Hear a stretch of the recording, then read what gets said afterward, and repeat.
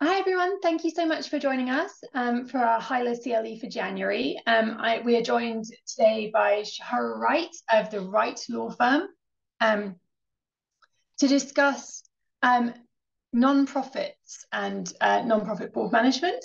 Um, Ms. Wright uh, is a CEO, business and non-profit law attorney and a business strategist.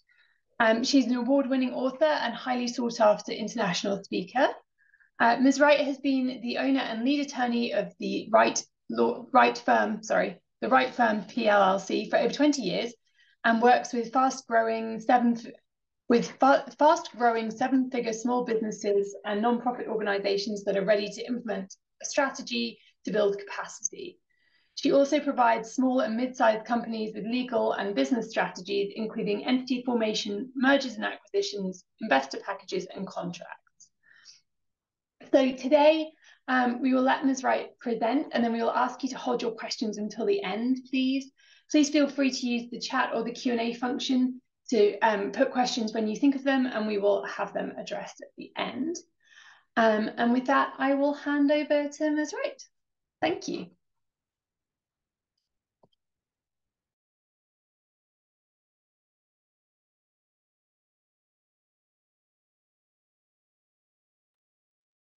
Sorry, I think you're still on mute. It just thing came up. So I see I'm having feedback. Hold on one second.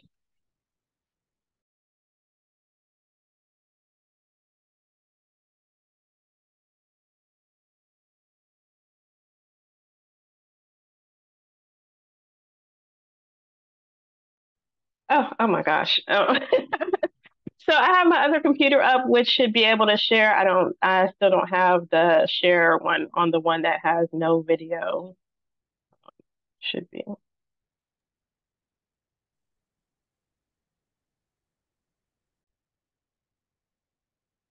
All right, there we go. Oh, well, no, it's no telling me I can't share. So can we get a share? Um, maybe co-host.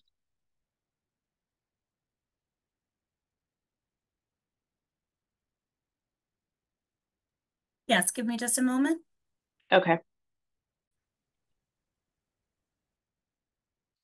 Hi, everyone. So sorry for the delay, but we're going to be talking about how to handle board disputes. And this really is going to be kind of compilation of understanding board management, um, things that cause disputes, and things that you can do to not necessarily prevent them, because I don't even know if that's possible, but kind of subdue and try to kind of get a hold of board disputes that happen. So just kind of giving some background about me, um, if I this to move. Um, my name is Shahara Wright. I know that there was a brief introduction and I won't spend a lot of time talking about myself, but um, I'm a business and nonprofit law attorney. I work with small businesses and nonprofit organizations as general counsel.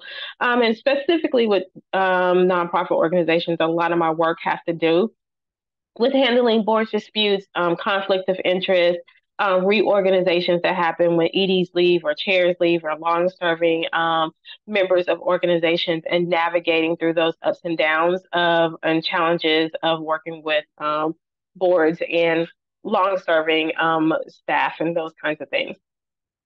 So the first part we're going to start talking about is fiduciary duty. And I think that this is something that you always have to start with when we are having a conversation um, about board duties, um, board responsibilities.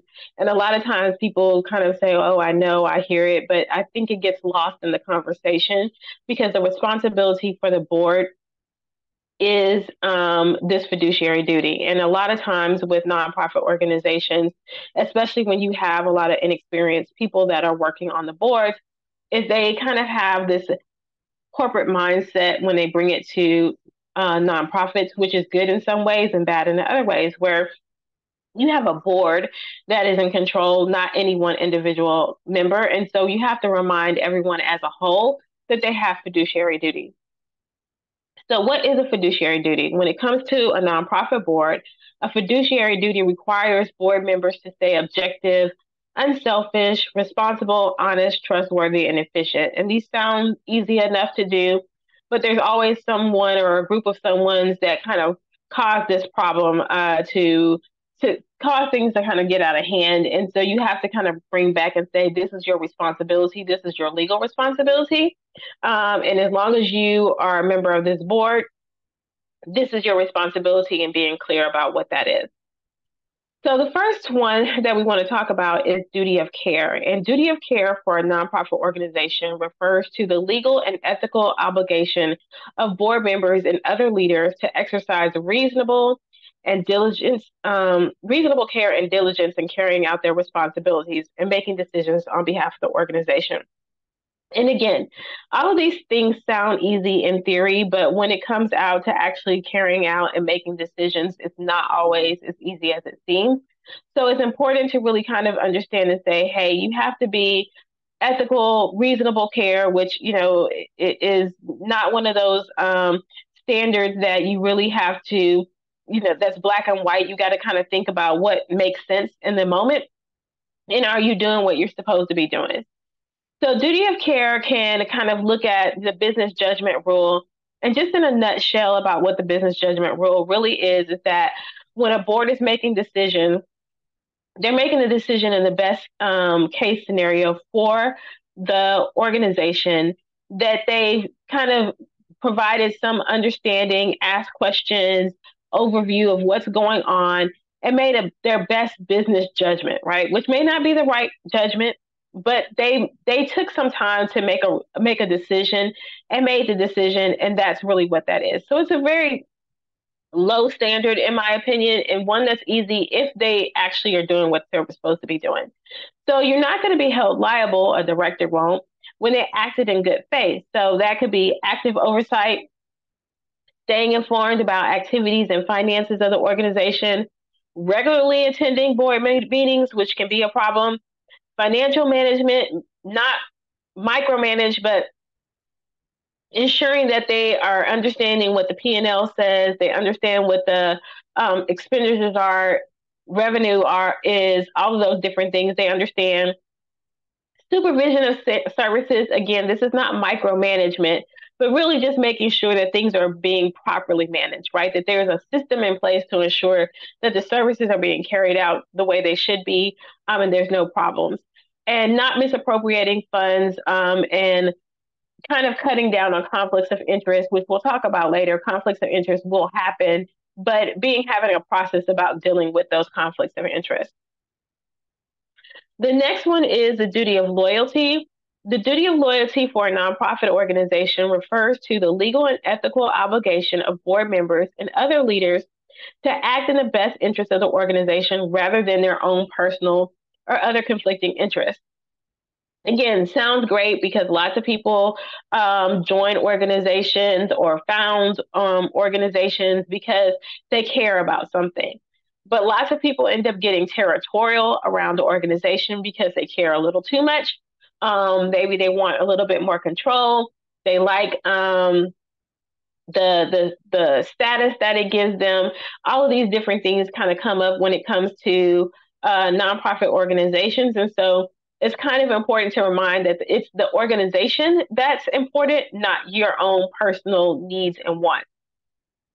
So again, conflicts of interest. Conflict of interest is when a board action or decision becomes unreliable because of a clash between personal and self-serving interests.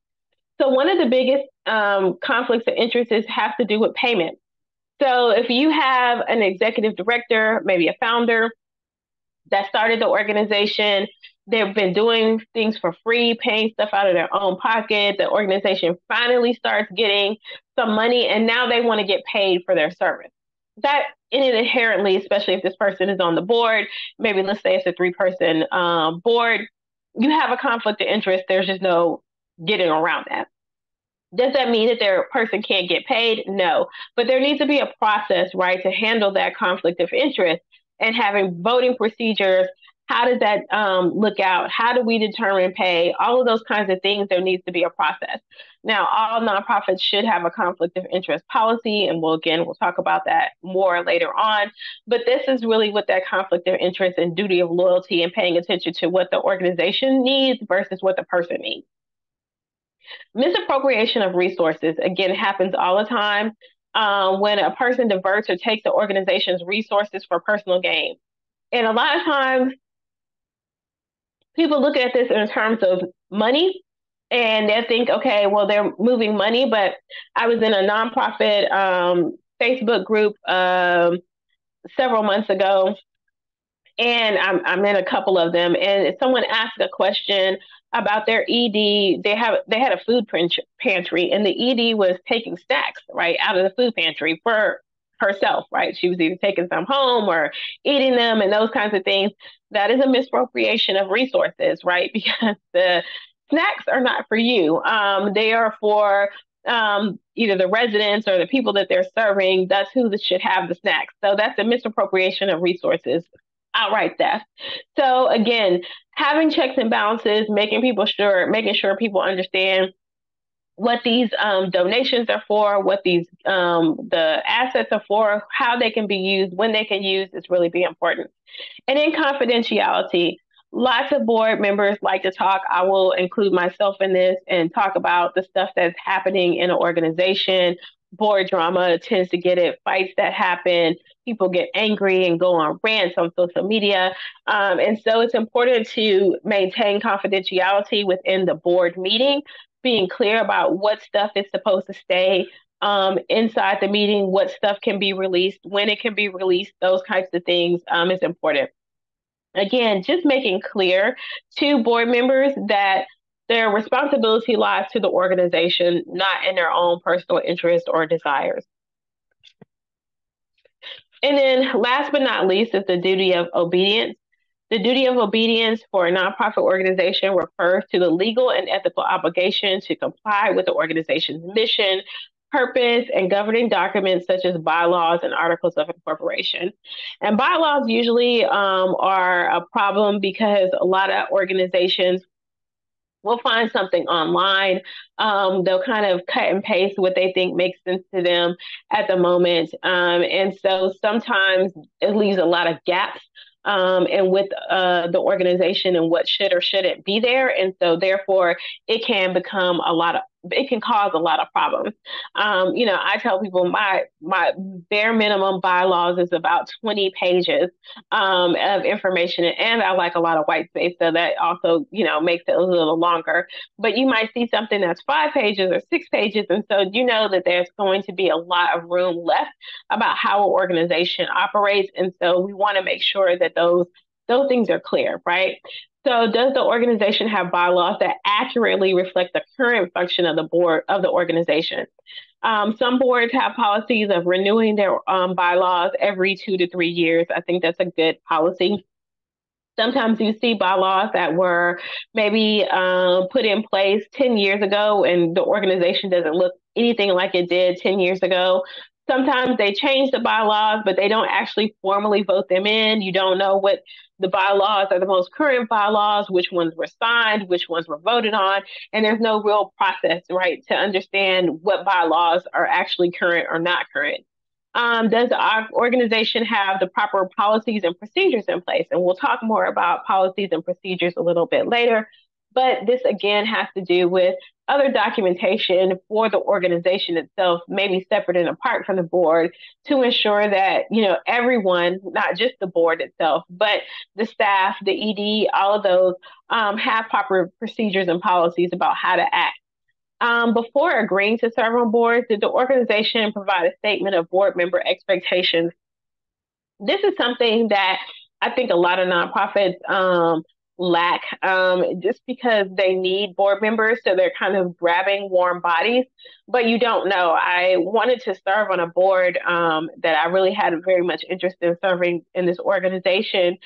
But when I got on the board, and I did get on the board, I realized that they really wanted the board members to be fundraisers. That's not my strength. I'm not a strong fundraiser. That's not where I feel like my biggest gift is. So I really didn't want to be on a board where 90% of my responsibility was doing fundraisers. And I ended up leaving the board probably um, six or seven months down the line. And that was because I wasn't properly informed or made aware of that my expectation was I was going to be doing this amount of fundraising. And I think it's important to let people know what your expectations are them are board members properly informed of their legal obligations? Again, usually nonprofits are not providing um, board retreats. There's no orientation. There's no kind of, hey, due diligence thing. This is what we expect and how you do it. It's kind of maybe sign here, dot here, um, kind of thing. And you really just are not aware of what all you're expected of when you come in there. And um, our board members instructed on their roles as steward of the charitable um, assets. And again, um, I think that having a board retreat once a year for incoming um, board members and then bringing in the current board members is the best method um, to really get everybody up to speed and on one page about what's supposed to happen. So I know that was a kind of like a speed through on uh, fiduciary duty, but I think you can get from that just kind of a general census of where board members should really be thinking about.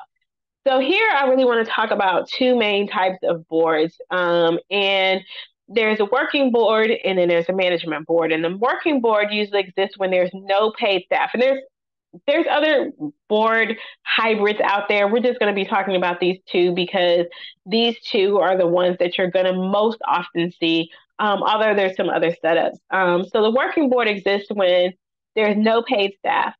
The board is doing the heavy lifting when it comes to running the organization, the day to day operations, volunteering, making the programs happen.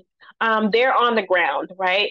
Working boards are hard. They take a lot of time and um, it's almost like a second job. If you've ever been on a working board, um, those of you that are um, board members for HYLA um, or any other kind of board that you might be on, PTOs, those kinds of things, um, it, it, can be a second job um, and can be very taxing. Um, these members are usually very dedicated, but the time commitment can be a bit lot, bit much. Um, burnout happens quite easily. Um, and then with the board members, you also have, you know, officers within that board. and so uh, this discussion regarding officers and directors sometimes kind of coincide with one another, um, whereas in a, a, different type of board setup that may not be necessarily the case.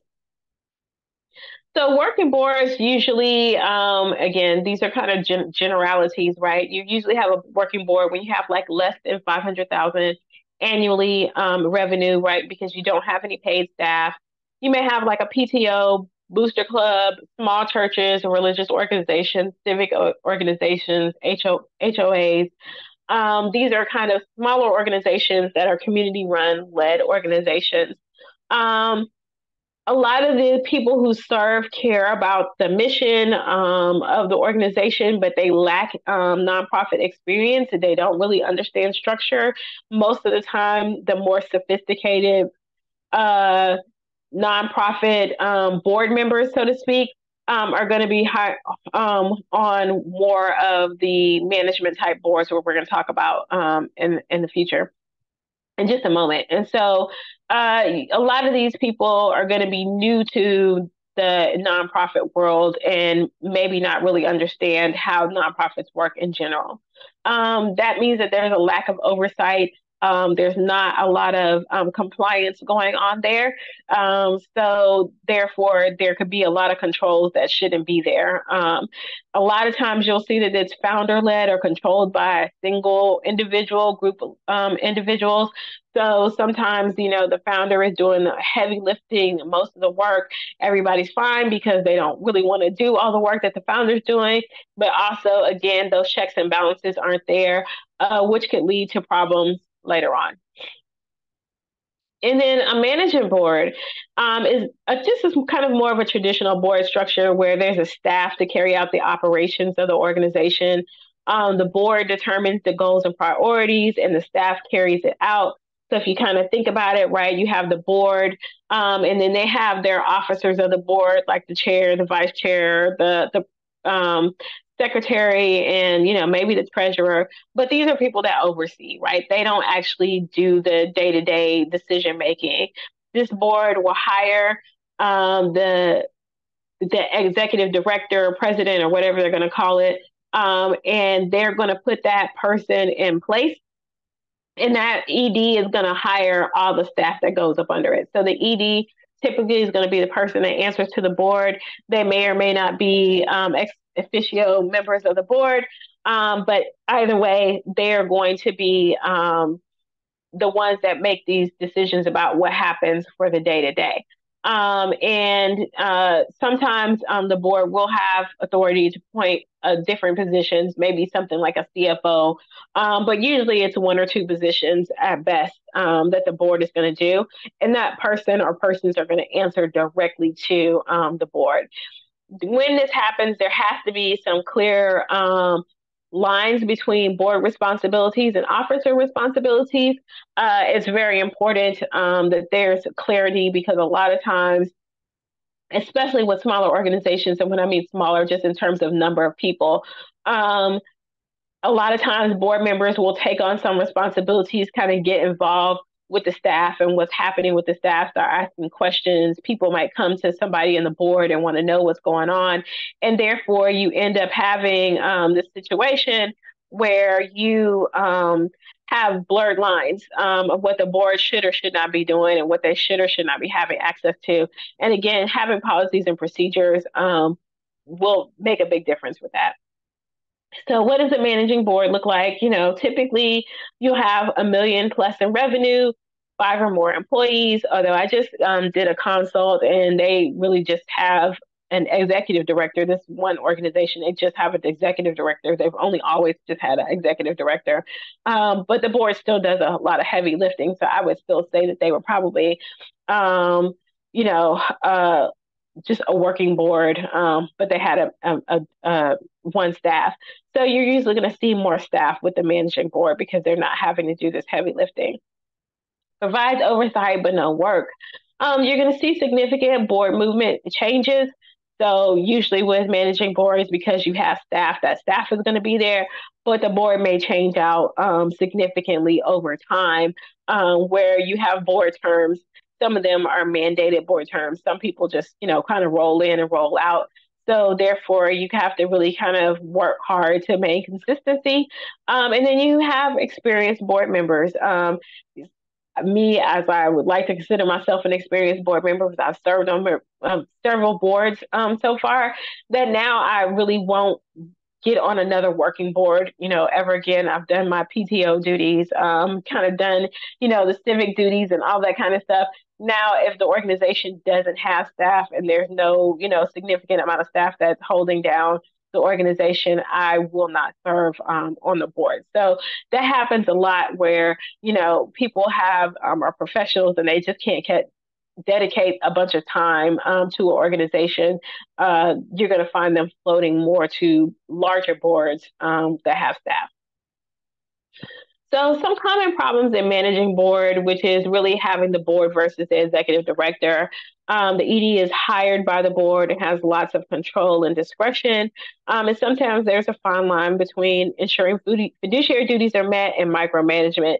Um, and there's nowhere to say which is too much or too little. I think it all depends on the circumstances, but it's important um, to really think about um, what that is supposed to look like, what you would hope it would look like.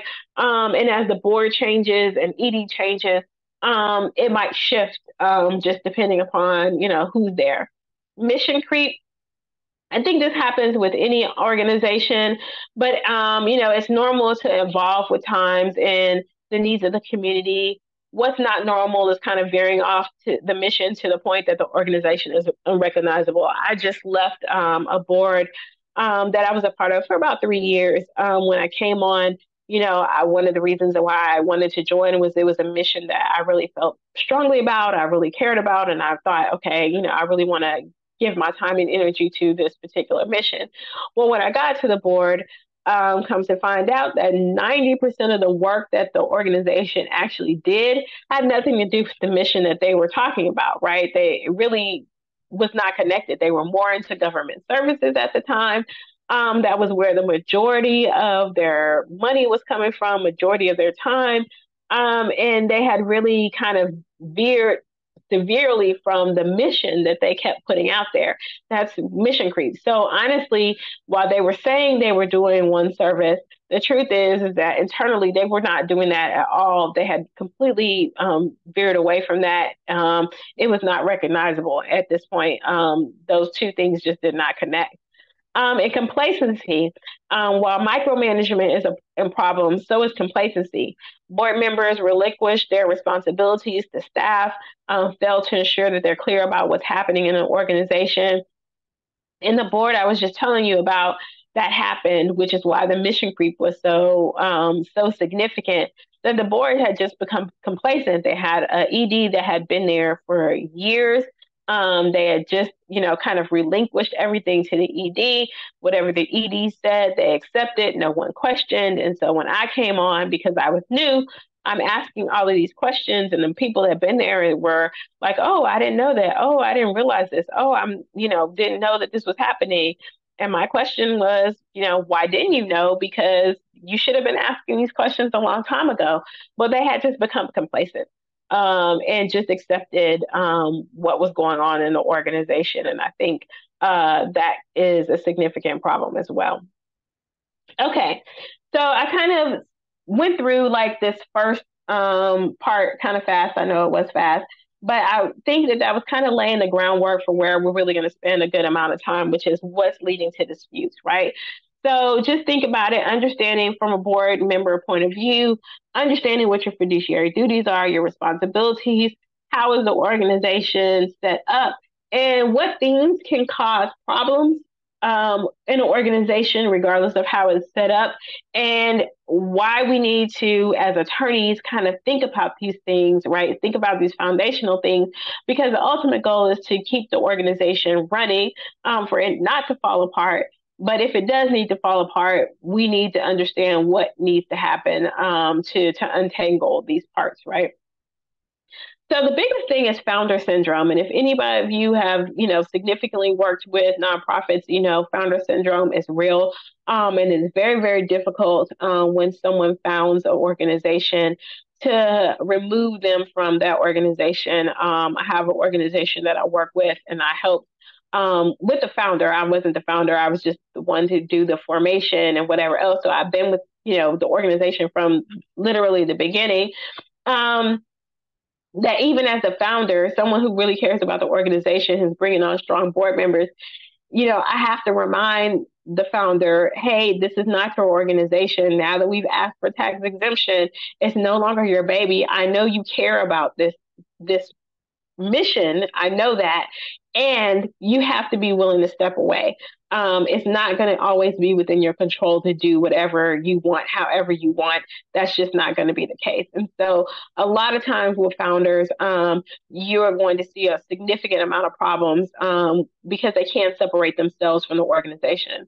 Sometimes the founder believes that they are the only person that's capable of executing the vision, right? The founder controls like all aspects of the organization. You know, if you disagree with the founder, you know, it's it's all hell breaks loose, right? It's a problem. Um, the bar- board acquiesces to the demands of the founder or resign.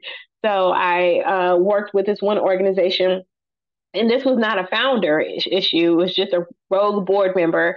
Um, and the board member came in, started doing a bunch of crazy stuff, and the other board members, instead of stepping out, all resigned um, which led to a whole lot of problems. And so that is not the thing that we want people to do, but that can happen where board members will just quit. So um, again, uh, kind of seeing what's happening um, in, in, an organization. A board is control that is controlled by a few people, and changes are prevented from being made. Um, sometimes, you know, you've got kind of a crew that's going on, and it's the crew's way or the highway. And if you don't, you know, do what these certain people want, then they're going to make your life miserable. Well, if you're working for free, nobody's going to want to stay in that situation. So again, people will just quit. Um, so here's some founder red flags, and they're just not, you know, founders. Sometimes, you know, it could be somebody that's just been a long standing member of the organization. Um, I own a nonprofit that kind of grates my nerves because a nonprofit can be owned. Um, my nonprofit or Lisa's nonprofit, right? Again, kind of connecting the organization with yourself, um, which is not what you really want to be doing. Um, people that say, This is my baby, and I'm not going to let so and so do this.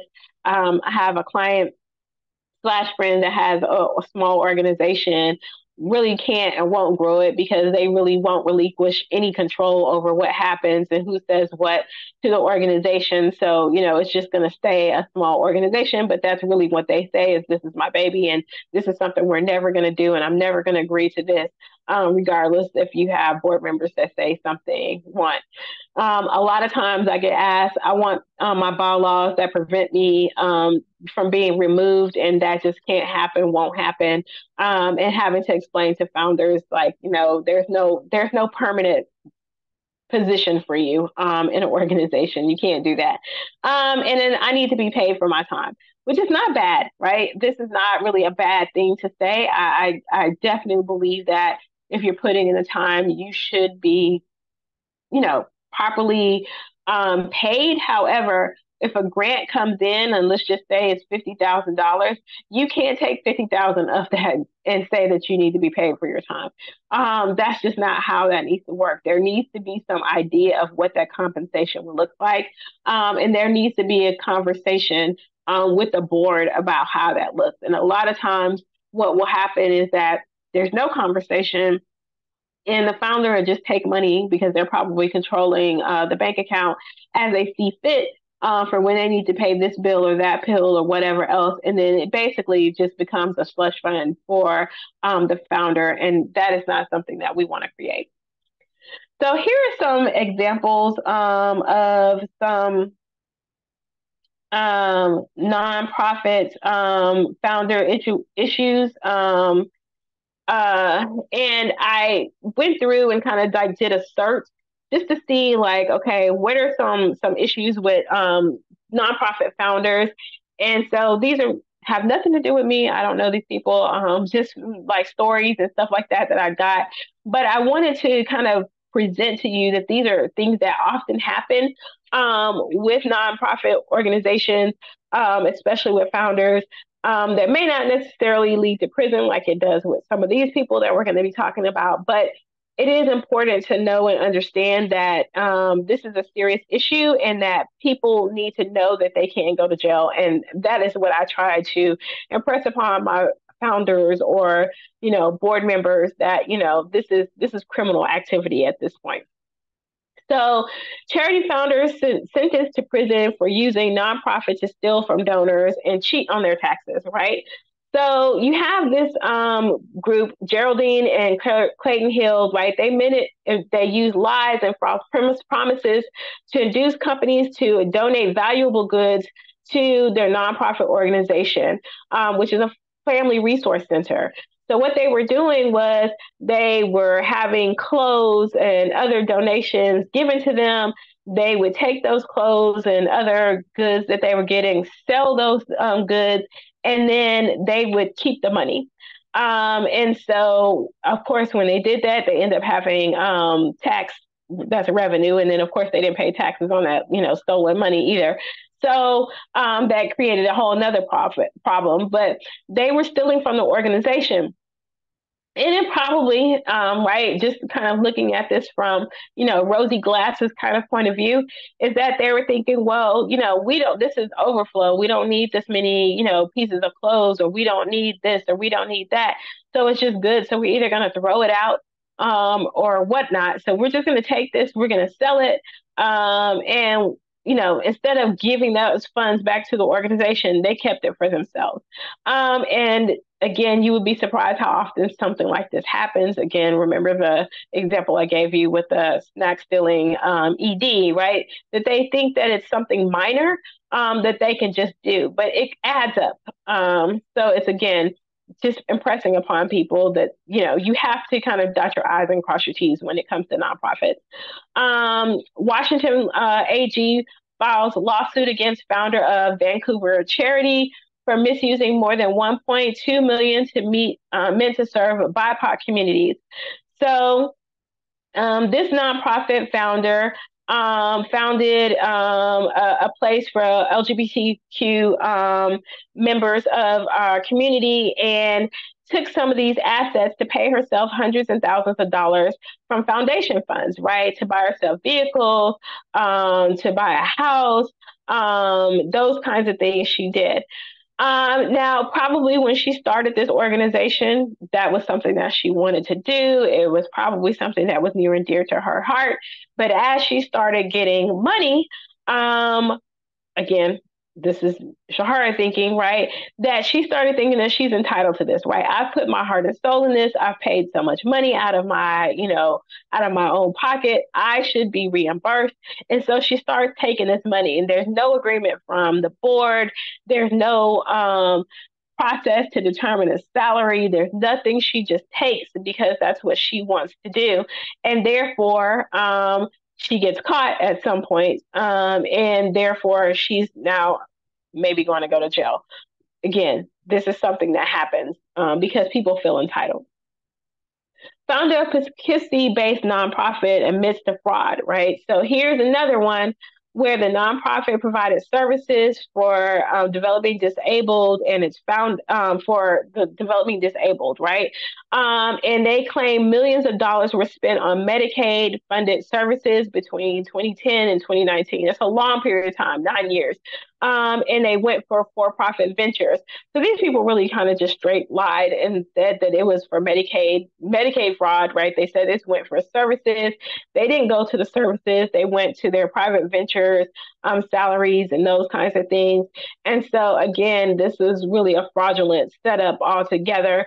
Um, and this I kind of provided in here because I think it's important to understand and ask questions when people are setting up organizations um, and how they're connected to their for profit and nonprofit because a lot of times people want their quote unquote nonprofit arm so that they can get donations so the nonprofit can pay for services that other people can't pay for, but the money is really just going to the for profit organization. And I really try to caution people against that, that not making this nonprofit a funnel um, for your for profit venture, that's not what we want to see. Um, that could be seen as fraudulent. And last but not least, um, Van Jones, which I just kind of felt was like a really interesting um, and sad founder's tale um, when it comes to this. So Van Jones um, got a significant, um, significant uh, grant from Jeff Bezos. And he he really um, believed in the mission that Van Jones Dream.org was going to do, gave a lot of money um, to this organization, $10 million grant. Um, and they, it was, the funds were just playing on mismanaged, right? Because Van Jones, one, probably didn't know how to handle $10 million worth of grant funds, uh, trying to figure out how to spend it, what to do, um, how to leverage it. Um, a lot of money like that for a small organization could be overwhelming. Um, so this did not result in a criminal charge, but really it resulted in Van Jones being removed from um, the organization. And this is probably a founder's worst nightmare, right? That they're going to get removed from the organization. But I think when you have a strong board and a knowledgeable board, I think it makes um, perfect sense for a founder that maybe isn't um, as skillful and knowledgeable to end up getting uh, removed from the organization because they may not just be the best organizer, right? You may have somebody that's really good to speak on the speak on the needs. They they should be the face of the organization, but running the organization may not be their strong suit. And then so and here Van Jones was actually removed. So what can you do, right? So when you have issues that are happening, what things can you do? One, you want to remind people about the duty of loyalty. Um, you want to remind the founder that the organization is for the public and not them. Um, and I think you have to constantly remind people because they they want what they want, and you have to say, I understand that this is what you want, but that doesn't mean that this is the best thing for the organization. What you want and what the organization needs may not be the same thing, and you have to be clear about this, right? Um, encourage board members to voice their concerns in writing. Um, a lot of times, board members t- tend to just grumble amongst themselves and not do anything. Um, you know, it's important to remind board members to take actions, that their concerns should be noted in writing, um, they should be expressed in meeting minutes, um, and fully documented. So, again, this is something that I think that if we remind board members, hey, if there's a problem, you need to bring it up. You need to step up. You need to speak up. Um, you know, speak to the chair or the vice chair initially um, if you don't see anything, then you need to bring it up at the meeting. You need to be clear um, that there's a problem. Um, and sometimes people don't want to do it because they don't want to see be seen as a complainer, but sometimes you just need to speak up um, the board rogue board member, right? So the rogue board member is the one who uses their authority outside of the jurisdiction of the board as a whole, right? This person um, has just kind of gone off the rails and taken over the organization in some standpoint. Um, I, I, think I mentioned previously an example of an organization that I worked with. Um, it was a civic group, and the board member, I don't know, they got voted on with a group of people.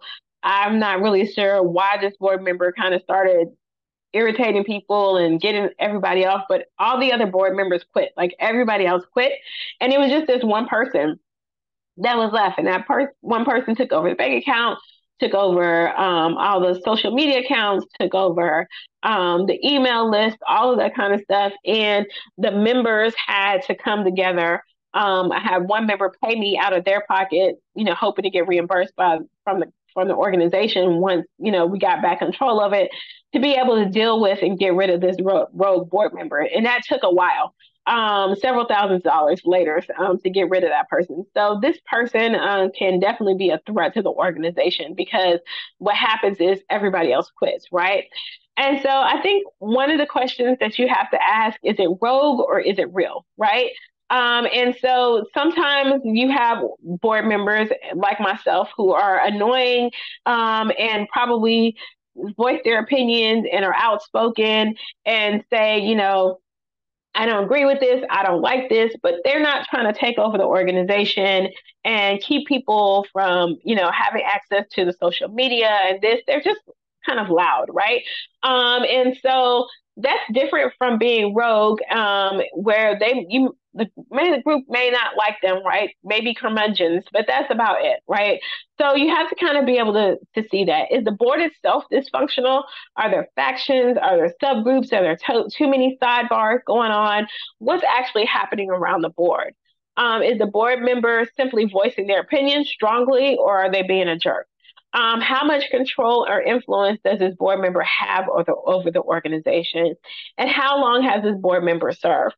Sometimes um, you have to really ask these questions to really understand the situation, um, what someone presents to you versus what's actually happening, um, may not necessarily be the same. And so I think really understanding the dynamics of the board um, at the time, and even sometimes going back to the board before and saying what was happening with the board before to how we get, how did we get here, really will help you be able to resolve some of these um, disputes that happen. So, five ways to deal with a rogue board member. Um, have a board member retreat. Um, have all remind all board members why the organization exists and why they chose to serve. Establish a record, document in writing any issues and concerns that a board member has about certain actions. That's why having detailed meeting minutes um, along with documenting voting makes a big difference. Um, lots of nonprofits keep terrible minutes um, if they keep them at all. So um, that documentation is important. Uh, remove the board member in accordance with the bylaws. Again, that's why having good bylaws that clearly spell out removal procedure is important. Um, and then uh, bringing a third party to mediate the situation. Sometimes having somebody um, that has you know, skills and leadership expertise um, can really talk through some of the issues that boards are having. It's usually a communication issue. Um, there are some people feel strongly about things one way or another. Um, I think that's important to have. Um, so having a third party uh, makes a big difference. And if concerns are being ignored, maybe going to state authorities and filing a complaint may be the next big answer. Again, it depends on what it is. Um, you know, something is more of I don't like this person as board chair. Obviously, isn't going to warrant a, a, a, a complaint. But you know, mismanagement, funds mismanagement, harassment, those kinds of things might. So I think you have to look at the situation, um, of course, with anything and really kind of determine what it is that you need to do, but creating a step to try to resolve it um, first. Um, and then creating precedents for each step um, will make a big difference with trying to get it resolved. Um, let me just ask how much time I see I got like five minutes left. So um, should I stop now to ask questions or do y'all want me to go through this last piece, which is really about documents? So we can take a break right now to ask if there are any um, questions, or we'll send another reminder for um, individuals to put questions in the chat or in the Q&A, as this time we do not have any. Um, so okay. I can allow for uh, 15 to 30 seconds or so if we can start to see some come in here. Um, if not, please proceed, and then um, I'm happy to check back in in about two minutes if we have any more. Okay, sounds great. Um, so here's some documents that make a difference. Um, so, uh, at bylaws, what should they cover at a minimum? You should have, you know, the board member management. Um, I usually don't use position quote unquote seats for board members. Like there should be no dedicated attorney and dedicated CPA seat or anything like that. I don't really agree with that. Um, one because I don't like professionals having being forced to use their profession um, for free in a in a nonprofit organization, but two, uh, you know, if you just don't have, you know, any attorney isn't going to just fit in there, any CPA isn't just going to fit in there. Um, so we just don't want to have those kinds of things. But you may have your officer, board officer positions again, which are going to be general, your chair, vice chair, um, maybe president, vice president, depending on what you're naming them, treasurer, secretary. Usually, at minimum, you have to have a president and a secretary of the board. So um, that's what you want to at least um, have in your bylaws officers. Um, that goes to just what I was just telling you before. If it's a membership organization, a lot of times I'll see people that I'll draft and say that they have members, but they really don't have members. A membership organization is something where not necessarily you have to pay um, to be a member, but uh, let's just say an HOA, um, you might have a PTO that has members. Um, a church that has members, um, so those are real membership organizations. Membership is not, you know, we want people to be donated. We want to people to have donations and that's their quote unquote membership, like a zoo membership, right? So you could be a member of the zoo. That's not what we're talking about here um, and the members because as a zoo member, I have no rights to vote or anything with the organization. So that's a different kind of thing where we're just talking about it as a fundraising, as opposed to these people have rights um, to who controls the organization. Um, committees, if there will be committees, um, I would only specially name the standing committees. Those are that are required to exist. But what I would do is that say that the board has permission to create um, committees, you know, ad hoc as they choose. Um, and then if there are specific committees that have to be there, like a nominating committee or something like that, then I will name those in the bylaws. Um, transactions, the majority of the bylaws will probably consist of various acts transaction of the organization, any audits that are required, um, anything that has to do with, um, you know, voting requirements or procedures. Um, uh, what is that? Um, just your fiscal year, those kinds of things. What what does that look like? Um, so you want to cover some of that. And then a conflict of interest. So the IRS does require that a tax exempt organization have a conflict of interest policy. Typically in the bylaws, I just take the IRS um, version of their conflict of interest policy and put it into the bylaws. So I just added into the bylaws. Um, and I think that's sufficient for the bylaws themselves. And then you may want to have separate conflict of interest um, that build upon that for certain things. Um, so there may be certain um, programs and policies that you have that you may need additional conflict of interest um, policies in place. But I usually use the IRS version and just add it to the bylaws. So some policies that you may want to have, privacy policies, whistleblower protection policies, document re- and review rec- document and records retention policy. These are just some policies that you know you want to be clear about how you're handling um, privacy, which I think is very important. Who has access? Um, sometimes board members will want to get information on someone um, that they're having uh, some client maybe they want some client information uh, they may ask about some contracts and want information on that. And there should be a policies about who has access to what information. Um, and the board is not necessarily entitled to all of that documentation right? So i think it being clear about what the board can and can't see i think is very important um, and of course, you know, whistleblower, if there's some issue that's happening in legal activities, what's the process, right? If it's the ED that's a problem, can it, is there one person on the board that needs to be um, brought in or reported to if there's no HR and what kinds of things? How do we deal with that? Um, and then your records retention policy, of course, you know, long-standing organizations may have documents going back for 20 years. Sometimes you just need to get rid of that crap um, and having a way to um, organize that, get rid of stuff, um, you know, and not have it, you know, kind of uh, lagging on for 20 years, stuff that needs to just go away. Um, financial policies, executive compensation policy, fundraising policies, and these are kind of some extras. I say I think of the of these, I would say the financial policy is really um, probably top notch. Some of that may be in um, the bylaws, but really that bylaws really have to do with board management. Um, it doesn't really have to do with organizational management.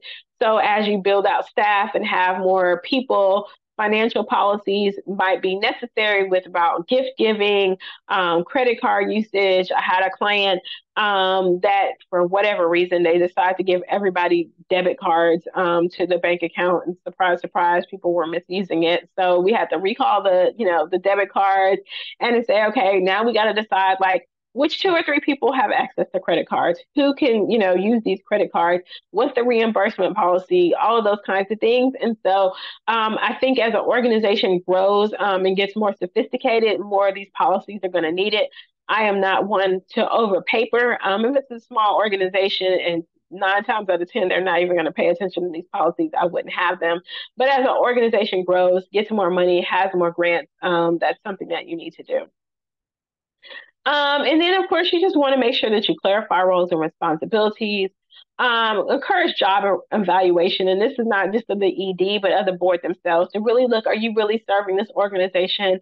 Are you bringing your best, you know, service self to this organization? Or and, and ask them to evaluate themselves um, to see whether or not they're doing what they need to be doing as a board member.